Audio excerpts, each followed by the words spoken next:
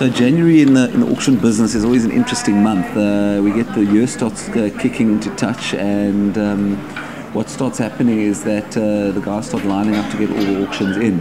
Uh, we had a feeling that this January would be busy, but it's really been an extremely busy period. I mean, normally it starts off quite slowly, but this January uh, the business has been extremely, extremely busy. In fact, I feel like I need a holiday, and uh, the reason is that there, there seems to be a, the banks seem to be clearing out quite a bit of inventory, so we're quite busy in terms of, of actually finding that stock to sell. Um, we've been advertising some very large uh, and high value transactions, uh, and there seems to be a lot of market interest in them. Uh, I mean, two of the big shopping centres that we're selling are one the Lone Hill Mall and the other one the, the Air Mall, and um, that started the year off in the bang. Uh, all, all, departments are, are working quite hard. Um, obviously, our legal divisions are, are the most busy, uh, but commercial is, is, is, going quite busy as well. Um, in, in, terms of the market, um, think that there's, there's, a, there's, a, sort of a variance of opinion of what 2011 is going to bring. You know, I, I sort of call it the year of trophy and trauma. Uh, in other words, your trophy type of properties are going to be attracting huge demand, uh, possibly largely on the commercial property side. So that's properties which are well let uh, properties which are in prime areas. Uh, those, are the, those trophy properties are going to be presenting uh, great opportunities for sellers uh, because people are looking for income. Um, and so trophy properties are probably going to be sold at higher prices than we've seen um, in years. Uh, we're already seeing that. I mean, with, with such low interest rates, you, are tending to find that people are looking for income. Uh, they don't want to keep money in the bank. People who have that sort of access to funding, and they're looking for those deals. And so we're seeing yields drop, and we're seeing higher prices being paid. That's on the positive side.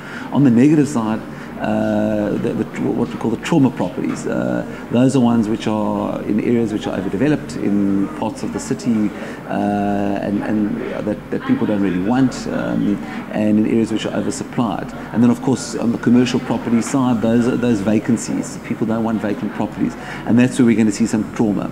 And so, really, uh, I think the theme of this year will be trophy and trauma, um, which is something that um, that Auction Alliance gets involved in on both aspects.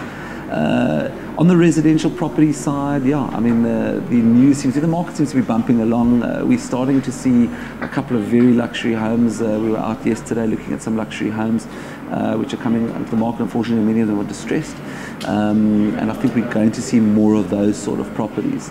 Uh, good news or bad news for 2011? Well, be some nice indicators. Uh, I, th- I, think that, that, some of the really good indicators that have come out is uh, possibly everyone thought there'd be some sort of uh, euro sovereign crisis um, this year, and particularly in, in, Portugal, and that hasn't proven to be. Uh, it looks like it's been contained in Ireland, and that means that uh, sort of the very bad news isn't coming out for 2011.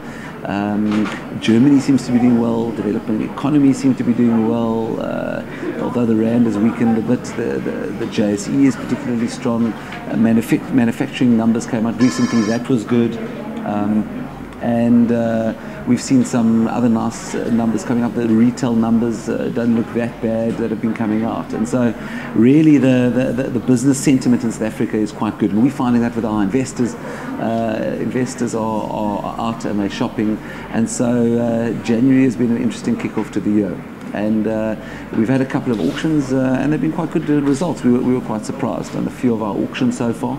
Um, sold some luxury properties uh, and we sold a whole we did a whole lot of residential properties last Saturday, which were pretty good. And so I think 2011, uh, uh, the year of the uh, starts with great optimism.